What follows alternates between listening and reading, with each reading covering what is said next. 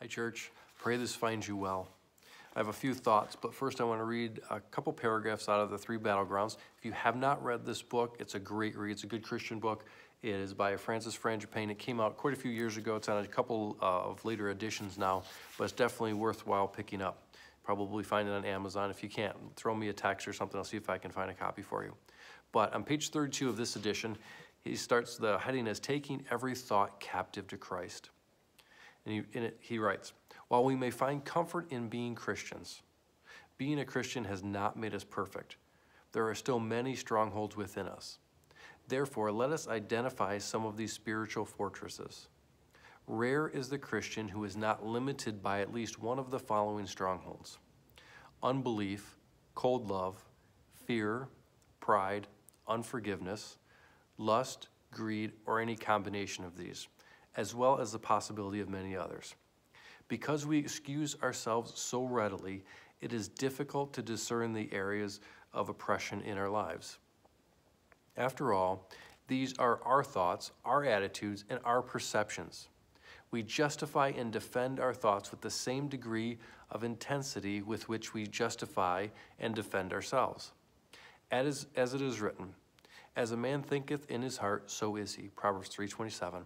In other words, the essence of who we are is in our thought life. The essence of who we are is in our thought life. Therefore, before any deliverance can be truly accomplished, we must honestly recognize and confess our need. We must stop pretending everything is all right. We must humble ourselves and seek help. Indeed, as previously mentioned, the first stronghold that God must remove is pride. For until, for until one is willing to admit that he needs deliverance, he will never be free from strongholds. And I'm going to skip a paragraph and it goes down and, and he writes, But let us also realize that Jesus can, that only Jesus can be like Jesus.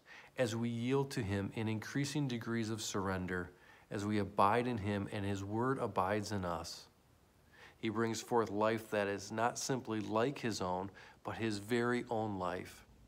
Christ himself living within us fills God's eternal purpose, which is to make man in his image, for us to be image bearers of God.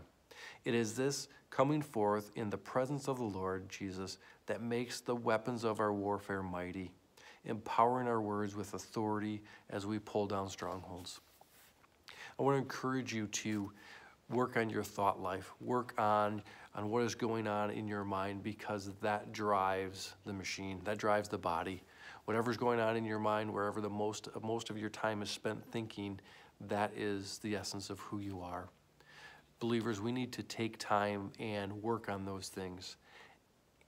Like uh, Frangipane said, we need to first get rid of pride to see that there's a need to work on those things.